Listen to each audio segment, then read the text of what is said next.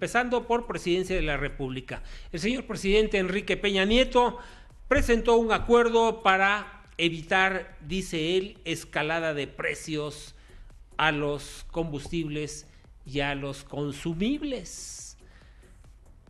Diego Rivera tiene la información. El gobierno mexicano y representantes de los sectores productivos presentaron hoy un acuerdo que pretende frenar los temores de las familias desencadenados por el aumento de precios en las gasolinas, así como proporcionar estabilidad a la economía en medio de las intensas protestas que vive el país. El convenio firmado en la residencia oficial de Los Pinos responde a las preocupaciones de las jefas y de los jefes de familia que haya un aumento injustificado de los precios de otros bienes y servicios después del incremento aplicado a los combustibles el pasado primero de enero. Quienes suscribimos el acuerdo nos comprometemos a preservar el Estado de Derecho y a fortalecer la cultura de la legalidad.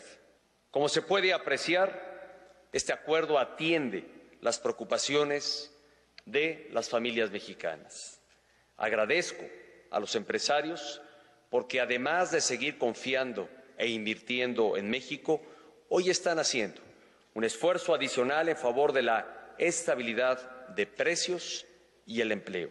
Ante el descontento de ciudadanos por el aumento entre el 14 y el 20% según el tipo de combustible, el presidente Enrique Peña Nieto dijo que esta es una acción encaminada a frenar los temores de las familias, que se encarezcan la canasta básica, que suban los precios de transporte público o que recorten programas sociales. Informó para el punto crítico Alan Castro.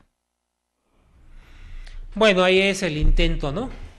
Como sociedad de frenar lo infrenable ¿Hasta dónde vamos a llegar?